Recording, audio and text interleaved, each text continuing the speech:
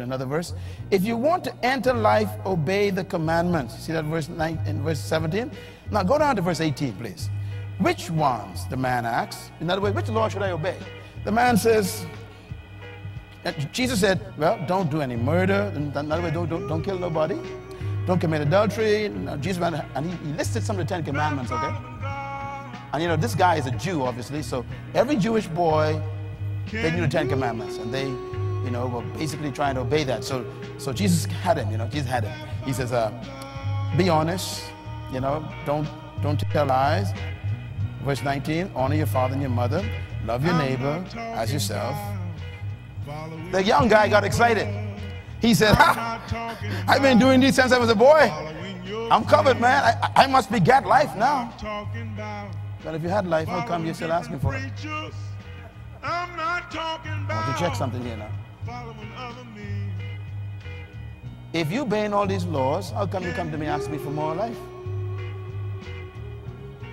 Here's the trick. What do I still lack? Verse 20. Underline that, please. That's the question of every religious person. They got everything. They got the candles, the incense, they got all the services, they sing the songs, they do all the little hop and jump, they do the little jab, they, they have prayer meetings.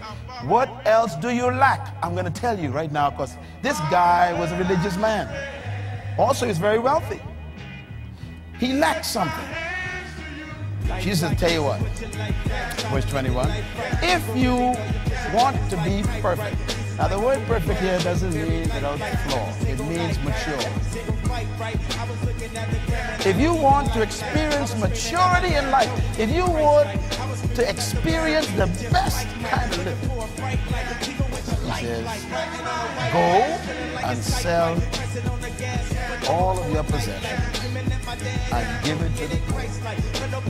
And you will have treasure where? In heaven. Then come follow me. When the young man heard this, he went away sad because he had what? Great wealth. Say the guy was Bill Gates, okay? Then Jesus said to his disciples, he turned them, he said, hey guys, I tell you the truth, man. It's hard for a rich man to enter what? The kingdom of heaven. He's not talking about going to heaven.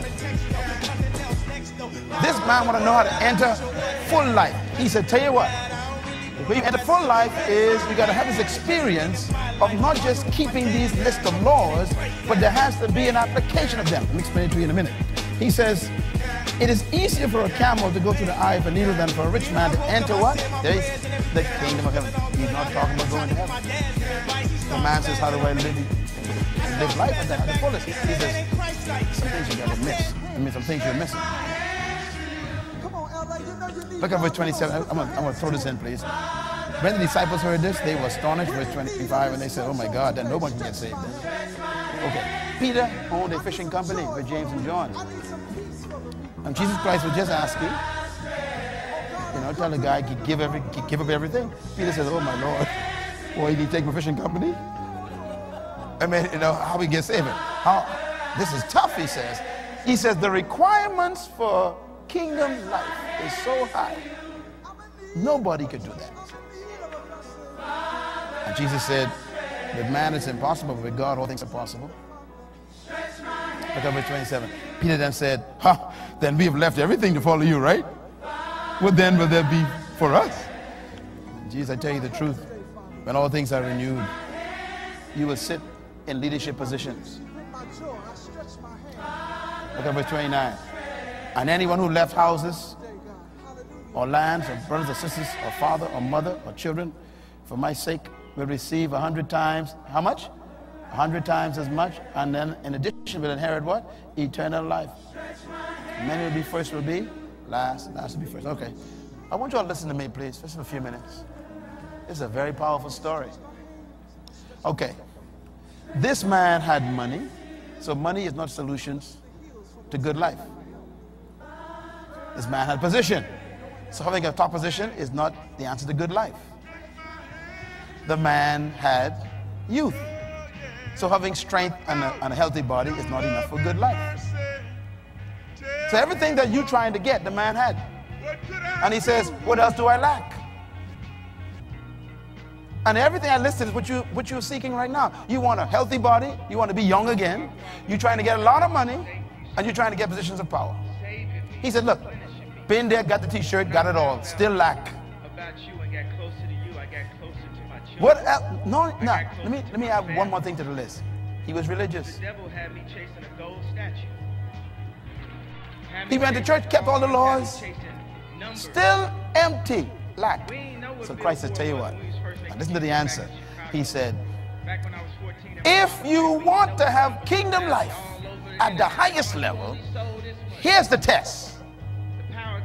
Take everything that you claim you work for and own and turn it over to the government. Give the government back its things. Let's not be concerned with the opinions. Okay. Let me tell you something. It's impossible for you. Let's not be concerned Your wife just got it. You ain't got it yet. Okay, she got it. A lot of folks sitting there looking at me, they, they ain't get it yet. Okay. It's impossible for you to call Jesus Lord and own anything. That's the point he's trying to get at. See, in a kingdom, you don't own anything. Let me say this, write this down. In a kingdom, there's no private ownership. So you cannot come to him and say, I want to submit to your government. I want you to be my king and Lord, and then still hold on to your money or to your land or to your business. He says, No, that, that, that- he says, Your problem is you schizophrenic. You claiming to be in my kingdom, but you have private ownership.